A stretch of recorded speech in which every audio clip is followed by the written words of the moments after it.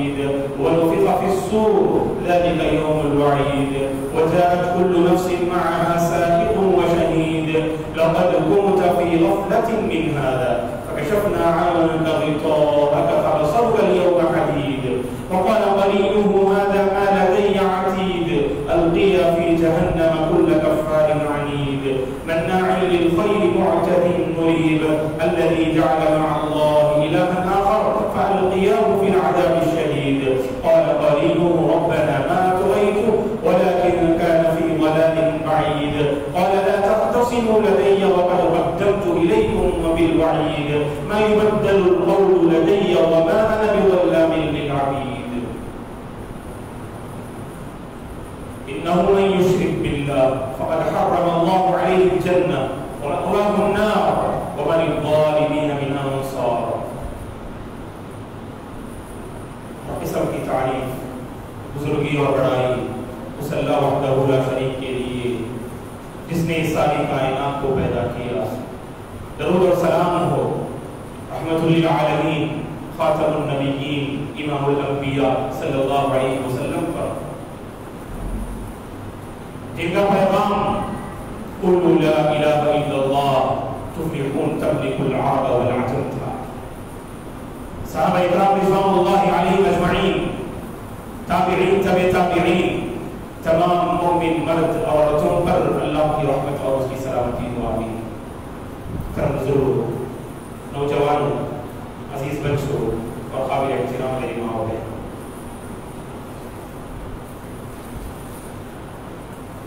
इस्लाम के पाँच अरकान हैं।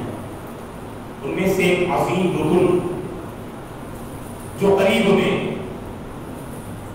हाजियों की एक किरदार ने उस रुकन को अंजाम दिया, मेरी मुराद हज। हज एक अजीम इबादत है। दुनिया भर के मुसलमान साल में एक मरतबा जिलहिज्जा के मौके पर, जिलहिज्जा के महीने में काबतुल्लाह का रुख करते हैं।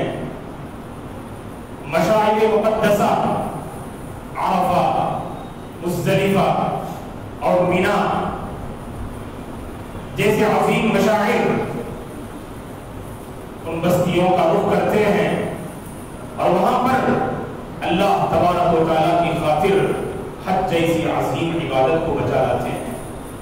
दुआ है परवरदिगार से कि इस साल जिन हाजियों ने हज जैसा अजीम फरीजा अंजाम दिया, अल्लाह तबारक उनके हज हज को हज मकबूल बनाए रब्बुल आलमीन उनके हज को कबूल फरमाए। और आने वाले अय्याम में परवरदिगार, हम सबको हज जैसी अजीम इबादत को बचा लाने की तोहफी अता फरमाए। आमीन। सल्लल्लाहु अलैहि वसल्लम ने ज़िंदगी में एक मरतबा हज किया जो आपका पहला और आखिरी हज था।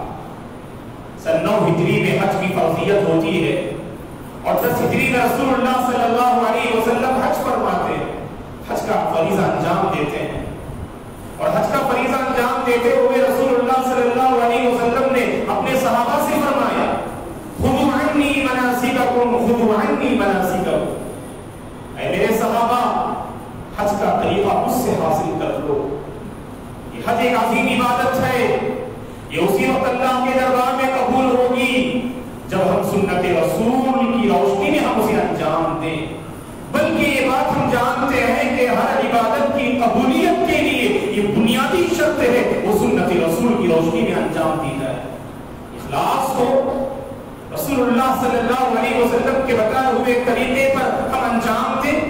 इमाम इब्न कसीर रहमतुल्लाह अलैहि ने कहा, अल इखलास व मुताबअतु रसूल, व हदानी रुकना अल-अमल मुतकब्बल दो अहम रुकन है।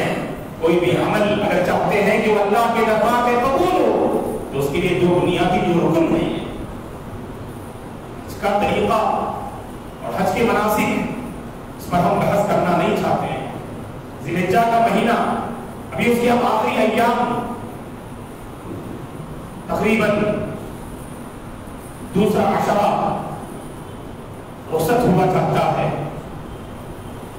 तो हज के अंदर जो मुख्तलिफ़ तालीमात और पैगाम हैं, उन पैगाम में से दो पैगाम हम आपकी हिम्मत में रखना चाहते हैं। हज का पैगाम मुस्लिमा के नाम। यकीनन हज अपने अंदर बहुत सारे पैगाम और बहुत सारी तालीमात रखता है। लेकिन उनमें दो बुनियादी दो बुनियादी पैगाम पहला पैगाम, तौहीद। हज इबादत है तौहीद से। हज का पैगाम तौहीद है, बल्कि हज की शुरुआत तौहीद से होती है। जब बंदा मीकात पर पहुँचता है और वहाँ पर जब हज की नीयत करता है लब्बैक अल्लाहुम्मा लब्बैक लब्बैक ला शरीक लक वन निअमत लक वल मुल्क ला शरीक लक सुभान अल्लाह हाजी की इब्तिदा इस तलबिये के ज़रिए से होती है और तलबिये का पैगाम तौहीद है। तलबिये का पैगाम वहदानियत है और तलबिये का पैगाम अल्लाह तबारक व तआला की वहदानियत पर ज़िंदगी को बसर करना। मुशरिकीन भी कहा करते थे तलबिया, लेकिन उनका तलबिया तो पर मुश्तमिल नहीं था। लेकिन अल्लाह ताला ने अपने हबीब के ज़रिए हमें सिखाया कि तलबिया तौहीद पर मुश्तमिल हो? मुशरिकीन कहा करते? ला शरीक इल्ला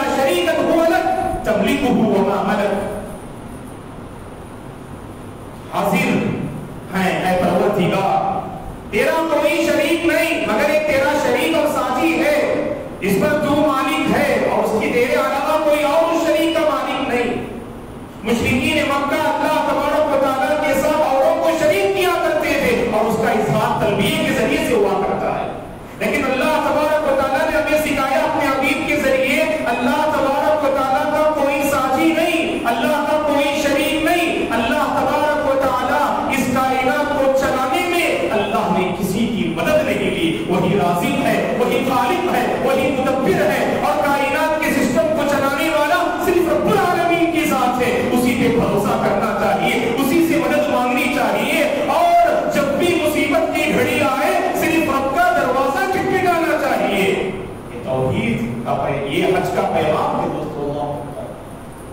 अपनी ज़िंदगी को टटोले हम अपनी ज़िंदगी का जायजा लें।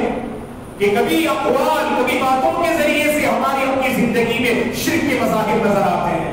कभी अमाल में हमने शिर को दाखिल कर लिया। खालिस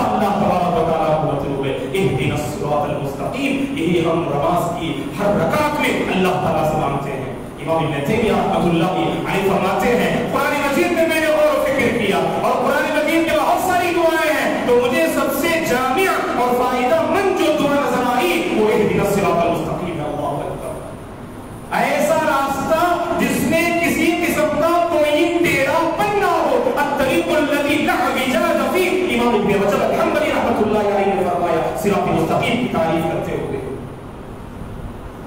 ऐसे रास्ते पर हम अपनी ज़िंदगी को बसर करें, जहाँ ना शिरक की कोई आमिजश हो, ना कोई बिदात और खुराफात की तो हमें नज़र आए। ऐसा खालिस तौहीद अल्लाह तबारक व तआला हमसे चाहते हैं दोस्तों। और कुरान मजीद में अल्लाह ने साफ़ तौर पर फरमा दिया, ज़िंदगी के किसी भी मोड़ पर अगर आपने शिरक किया तो जन्नत के आप मुस्तहिक हो नहीं पाएँगे। इन्नहु मन फक़द हर्रम अल्लाहु अलैहि अल्लाह से मांगिए खालिस तौहीद। अल्लाह तबारक से मांगिए कि परवरदिगार सिरात मुस्तकीम पर मुझे बाकी रख और उसी पर मेरी मौत। और मेरा जो है आखिरी लम्हा उसी सिरात मुस्तकीम पर आए। मनहज रब्बानी है दोस्तों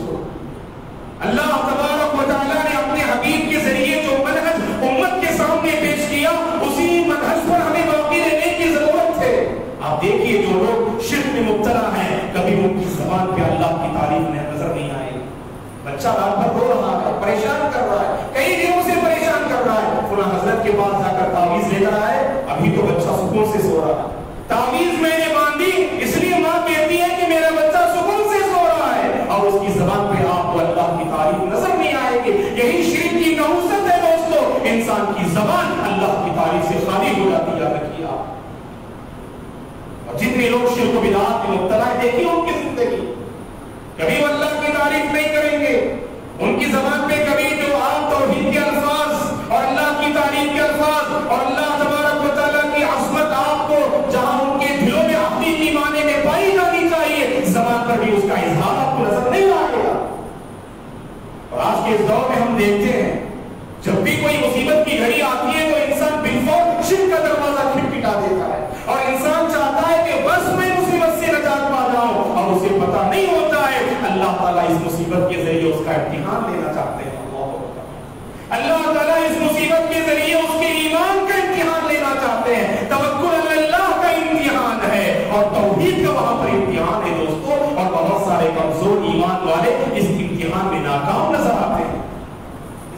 मकसद यही होता है कि मुसीबत से नजात पा जाए। अगर उनके सामने इस बात की वजाहत की जाए, आप जिस रास्ते पे चल रहे हो, ये रास्ता शिरक का है, ये रास्ता बिदात और खुराफात का है। उन्हें इस बात की कोई परवाह नहीं होती।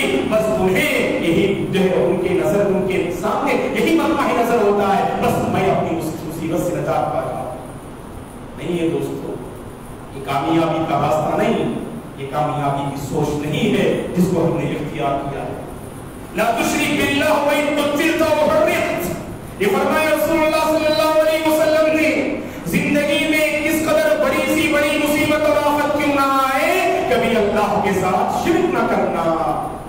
में कर दिए जाए अगर तुम्हें जला भी दिया जाए कभी तुम अल्लाह तबारक के साथ शिरक करना तौहीद की अमानत सीनों में है हमारे आसान नहीं मिटाना नामो निशान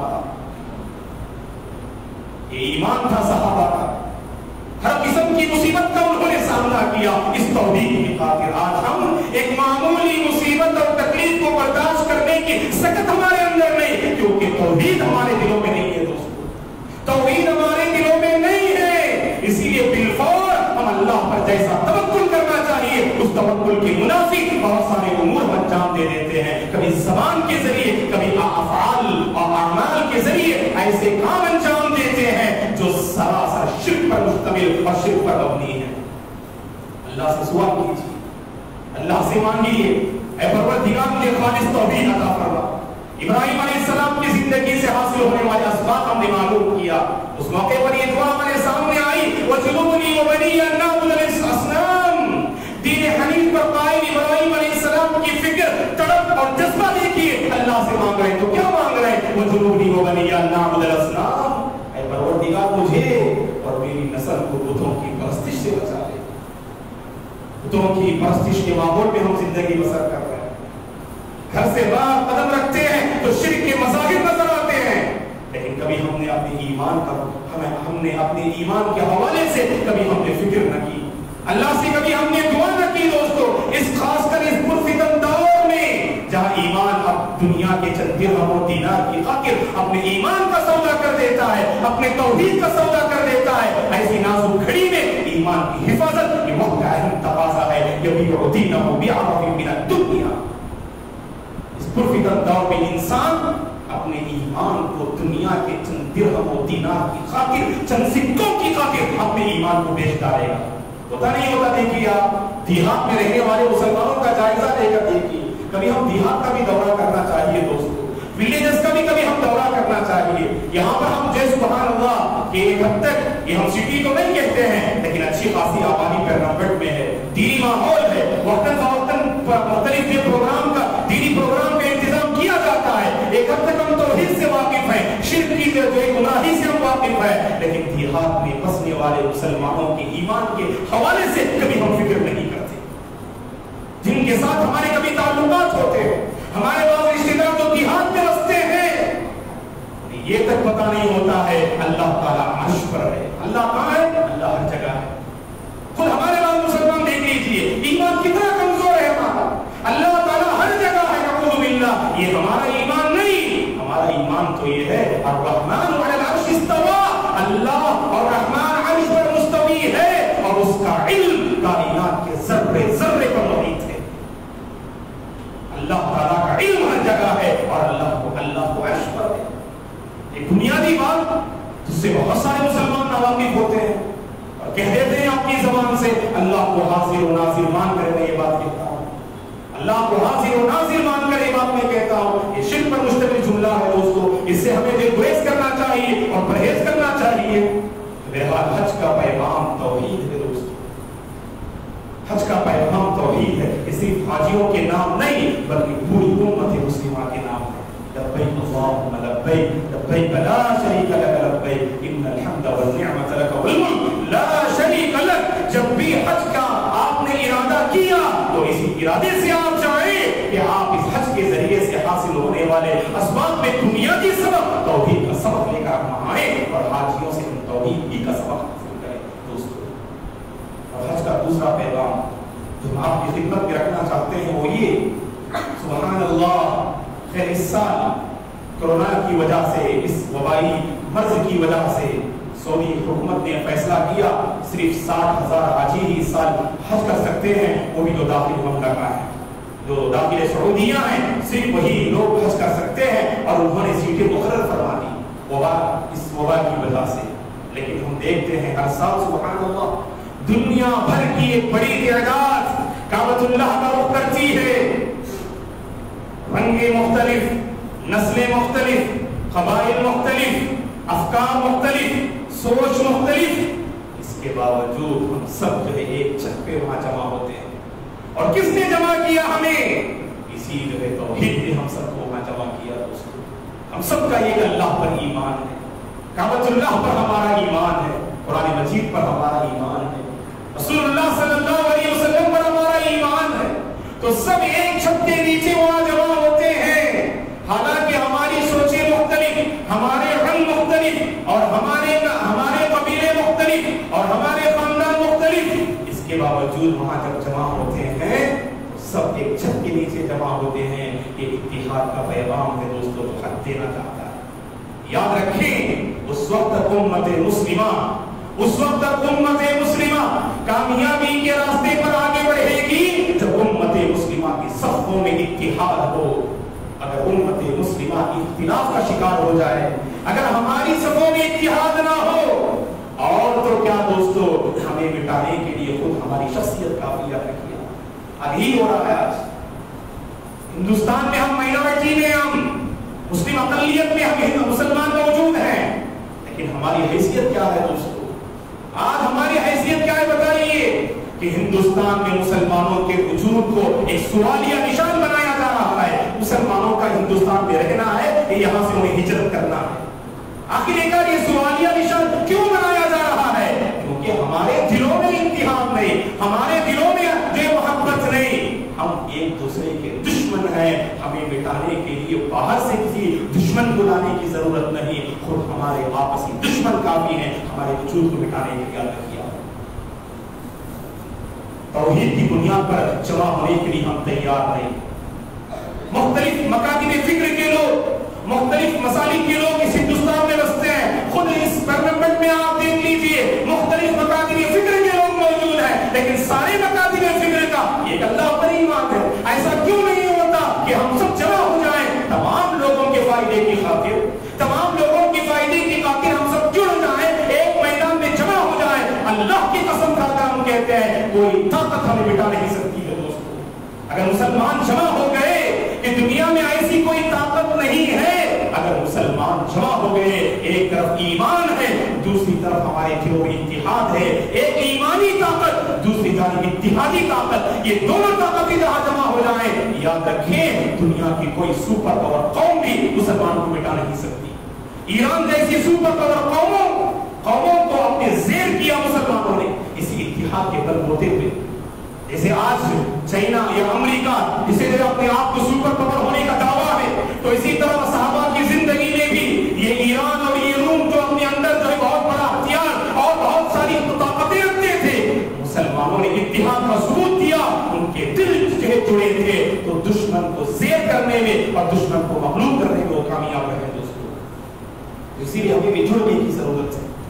हमें भी जुड़ने की ज़रूरत है और इसकी शुरुआत अपने खानदान से होनी चाहिए दोस्तों देखिए अपने खानदान का जायजा लेकर हम अपने आपसी रिश्तेदारों से गुफ्तगू नहीं करते दुनियावी मसाइल को लेकर साधा साथ गुजर जाते हैं सलाम तक जो है हम करने के लिए तैयार नहीं होते आखिर ये कैसा ईमान है दोस्तों आखिर ये कैसा ईमान है कि दुनियावी मसाइल को लेकर कि नस्ल दर नस्ल दुश्मनी चली आ रही है इसी दुश्मनी को अल्लाह तबारक व तआला ने रसूलुल्लाह सल्लल्लाहु अलैहि वसल्लम के ज़रिए खत्म किया तो जमाने जाहिलियत की दुश्मनी हम जानते हैं मामूली दुनिया पर बरसों तक जो है उनके दरमियान लड़ाई जारी रहती थी और आज उसका एक नमूना हम अपने खानदान में देखते हैं।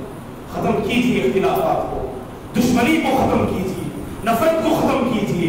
मोहब्बत के माहौल को आम कीजिए। यही हज का पैगाम है दोस्तों। अफ्रीका का रहने वाला एक हाजी, जब काबतुल्लाह पहुँचता है, उसकी कोई ज़रूरत होती है तो हिंदुस्तान आगे बढ़ के उसकी मदद आखिर उससे उसका कोई ताल्लुक नहीं?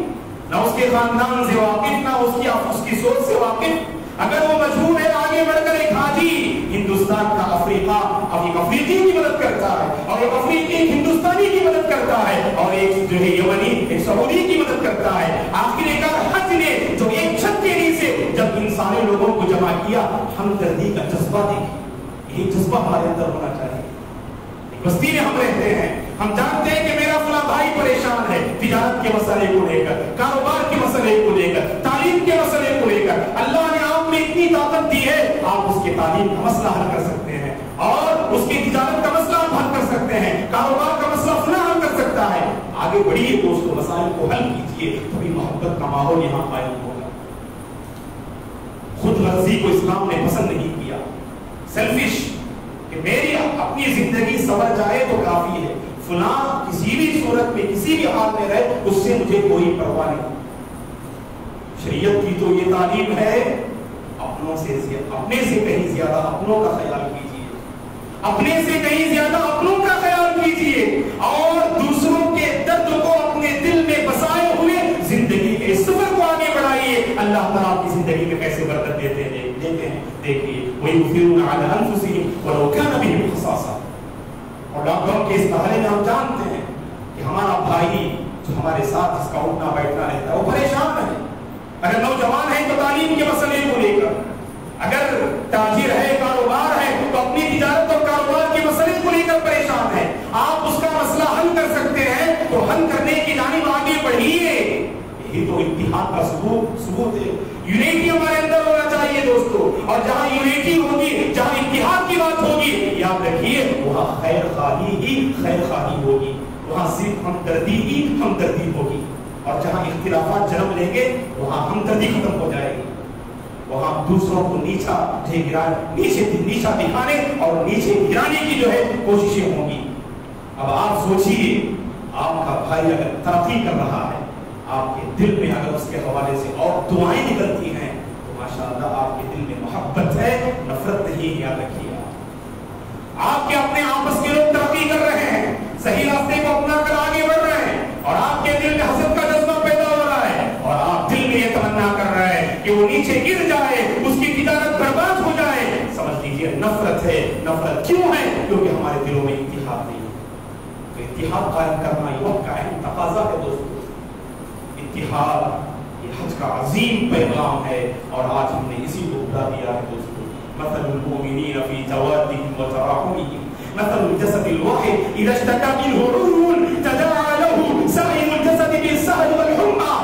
ये रसूलुल्लाह सल्लल्लाहु अलैहि वसल्लम ने फरमाया ईमान वालों की मिसाल एक जिस्म की तरह है अगर जिस्म का कोई पार्ट वहां दर्द होता है तो पूरा जिस्म उस दर्द को महसूस करता है यही हाल उम्मत मुस्लिमा का है बस्ती का एक फर्द अगर परेशान हाल है तो पूरी बस्ती वाले उस दर्द को महसूस करें। और खुसूसन उस आदमी के आसपास रहने वाले, उसके जो रिश्तेदार हैं, कम से कम उस दर्द को महसूस करना चाहिए। और जब जिसम का कोई हिस्सा अगर सड़ जाता है, अगर उसमें जख्म आ जाता है, उसे काट कर नहीं फेंकते, उसकी इसलाह करते हैं, उसकी मरहम पट्टी करते हैं, यही हाल हम उम्मत मुस्लिमा का भी होना अगर कोई शख्स हमसे दूर भाग रहा है, मनहज के एतबार से हमसे हट रहा है, गलत रास्ते की तरफ़ आगे बढ़ रहा है, उससे मुकाबला, उसका मुकाबला नफरत से मत कीजिए, उसका मुकाबला चरब सवानी से मत कीजिए, उसका मुकाबला मोहब्बत से कीजिए, उसका मुकाबला नसीहत से कीजिए, उसका मुकाबला खैरवाही से कीजिए। अगर कोई नौजवान बिल्डिंग की तरफ़ आगे बढ़ रहा है, आप जानते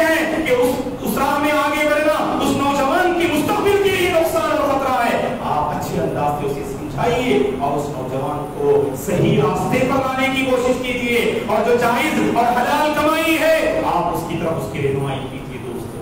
हम करते ये हैं कभी कि किसी की हम इसलाह करना चाहते हैं, हम बुराई से रोक देते, हराम से रोक देते, लेकिन हलाल का रास्ता हम वाजे नहीं करते। जिसके नतीजे में होता यह है, एक हराम से छुटकारा पाता है तो दूसरा हराम इख्तियार कर लेता है। एक जो है, गलती से बाज आता दूसरी गलती को इख्तियार कर लेता है। अगर आप देखते हैं फला नौजवान मोबाइल का गलत इस्तेमाल कर रहा है, आप उसे उसकी रहनुमाई करना चाहते हैं तो आपको चाहिए कि आप उसे इतना मसरूफ रखिए कि मोबाइल के गलत इस्तेमाल के लिए उसे मौका ही ना दे ऐसा हम करें दोस्तों, जहाँ हम बुराई को मिटाते हैं, बुराई को मिटाने के बाद उसकी जगह नेकी की बीज बोनी चाहिए। तभी चलकर कुछ तब्दीली आएगी माहौल में। तभी चलकर माहौल में कुछ तब्दीली आएगी। बहरहाल कहने का मकसूद ये है हजरात, कि हज अपने अंदर दो अजीम पैगाम रखता है। हज का एक पैगाम तो ये तौहीद है। ज़िंदगी में हम खालिस तौहीद पर बाकी रहें और अल्लाह से इसी का मुतालबा करें, खासकर इस पुरफितन दौर में, फितरों के इस दौर में, जहाँ इंसान अपने ईमान की परवाह नहीं करता, अपने इस्लाम की परवाह नहीं करता, बस इस दुनिया कमाने के चक्कर में अपने तौहीद को बेच देता है, अपने मुसलमान होने को जाता है, ऐसी नाजुक घड़ी में तौहीद पर बाकी रहना ये वक्त का बहुत बड़ा चैलेंज है। अल्लाह से हम दुआ करें, ए परवरदिगार तो हम सबको खालिस तौहीद पर बेबाकी रख। और हमारा खातिमा हुस्न खातिमा और हुस्न खातिमा की यही दलील है, कि हमारी आखिरी साँसें, कलीमा तौहीद, ला इलाहा इल्लल्लाह, अल्लाह के सिवा कोई माबूद पर हक नहीं। वही इबादत के लायक है, वही तवक्कुल के लायक है, और हर किस्म की इबादत सिर्फ़ अल्लाह ही के लिए बजा जानी चाहिए। और शिरक की जो गंदगी है उससे अपनी ज़िंदगी के दामन को बचाना, ये वक्त का अहम तकाजा है। और दूसरा पैगाम जो हज से हमें हासिल हो रहा है, वो ये है दोस्तों, कि हज इतिहाद का सबक देता है, कि हमारे सफों में यूनिटी होना यूनिटी होना चाहिए। हमारी सफों में इतिहाद होना चाहिए और एक दूसरे के साथ हमदर्दी, एक दूसरे के साथ खैर खासकर आज के इस दौर का एक अहम मसला है, जिसकी तरफ़ हम सबको तवज्जो देने की ज़रूरत है। रब्बुल आलमीन से दुआ है कि परवरदिगार हम सबको सिरात मुस्तकीम पर ज़िंदगी के इस सफ़र को आगे बढ़ाने की तो तौफीक अता फरमा। खालिस तौहीद है परवरदिगार और ऐसा तौहीद और वो रास्ता जिस रास्ते पर अल्लाह के नबी ने अपने सहाबा को छोड़ा, उस रास्ते पर आए परवरदिगार तो हम सबको बाकी रखे। और हमारा खातिमा भी उसी रास्ते पर अता फरमा। उसी सिरात मुस्तकीम पर अता फरमा।